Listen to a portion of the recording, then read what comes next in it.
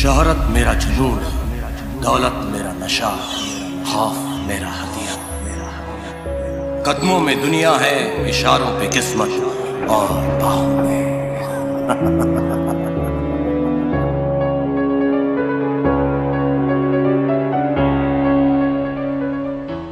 दाऊद इब्राहिम अपनी starting days में बहुत ही गरीब हुआ करते थे।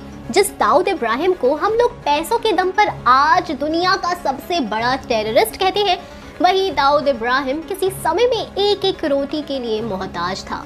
जैसा कि आपको बताया गया है कि दाऊद इब्राहिम के पिता नौकरी करते थे, जिससे उनके घर में उन्हें अच्छा खाना नसीब नहीं हो पाता था। इसलिए दाऊद इब्राहिम अपराध की दुनिया में कदम रखे।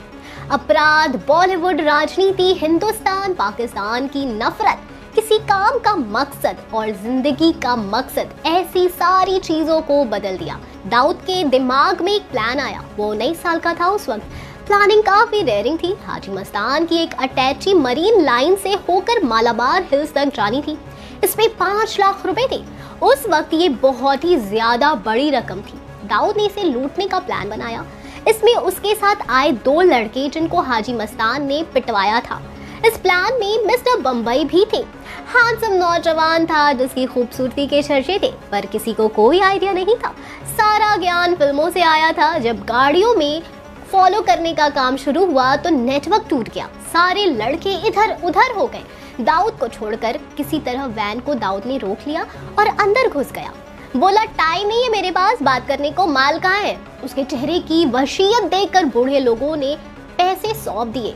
इसके पहले दाऊद के साथ के दो लड़के वैन में घुसते डर रहे थे, पर दाऊद ने सबको कह दिया था कि हलक से आवाज़ निकली तो ये आखिरी आवाज़ होगी, क्योंकि मैं गला काट दूँगा। माल लूट लिया गया, पर ये माल हाजी मस्तान का नहीं था। ये मेट्रोपॉलिटन बैंक का था। बम्बई में हुई ये पहली बैंक डकैती थी, जिसे दाऊद ने अनजाने में अंजाम दिया था। पता तो चल ही जाता, पर इसके पहले दाऊद के घर पर कांड हो गया। दाऊद के पिता इब्राहिम कास्कर कांस्टेबल थे। उनकी ईमानदारी के कायल पुलिस वाले भी थे। कास्कर ने बेटे को रात भर पुलिस वाली बेल्ट से पीटा। पूरा मोहल्ला रात भर दाऊद की चीखें सुनता रहा। इब्राहिम सुबह उसे थाने ले गए। ऐसे ही दाऊद इब्राहिम के इस बढ़ते हुए आतंक को देख करके उसे कई हवाला सिस्टम के द्वारा कंट्रोल किया जाने का कार्य चल रहा है।